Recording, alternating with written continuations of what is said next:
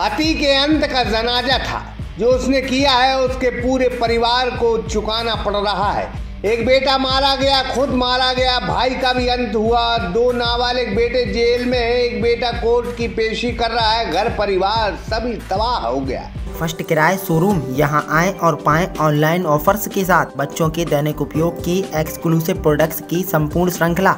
हमारा पता है एच बैंक के पास जबलपुर रोड, मकरौनिया।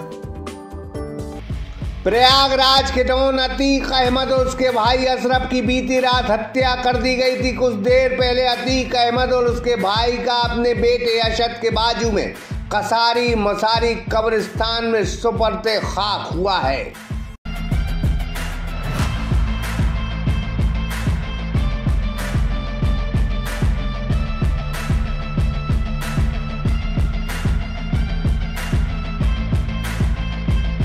दो नाबालिग बेटे जो पुलिस कस्टडी में आए थे, उन्होंने जब अपने पिता और चाचा को कब्र में देखा तो बिलख पड़े, रो पड़े।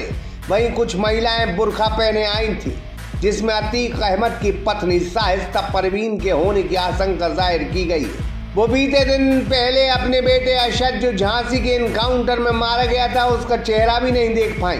अब उम्मीद थी कि वो अपने पति का आखिरी बार चेहरा ज़रूर देखना चाहती होंगी।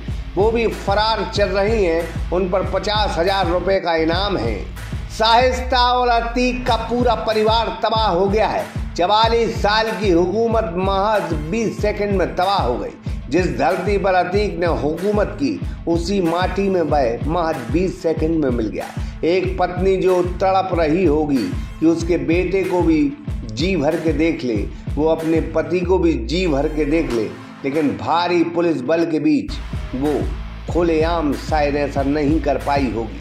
अब बुरखे में कई महिलाएँ आई हैं, लेकिन क्या उसमें साहिस्ता हो सकती है या नहीं भी हो सकती? कहा नहीं जा सकता। बहरहाल, अतीक अहमद और उसका भाई भारी सुरक्षा बल के बीच सुपरते खाक ज़रूर बेटे बिलक उठे पता नहीं पत्नी वहीं थी या कहाँ वही बिलख रही शायद जुर्म की दुनिया का यह सबसे बड़ा उदाहरण है कि अगर आप दहशत गर्दी करोगे, जुर्म करोगे तो यही अंत होगा।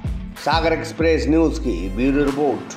सागर का शानदार hotel, royal palace, swimming pool, Kohinoor restaurant, diamond वार के साथ AC, luxury room banquet hall एवं कॉरपोरेट जगत के लिए मीटिंग हॉल तो अपने यादगार पलों को बनाएँ और भी खूबसूरत होटल, रॉयल पैलेस के साथ, पता, राजघाट रोड, सागर, मध्य प्रदेश।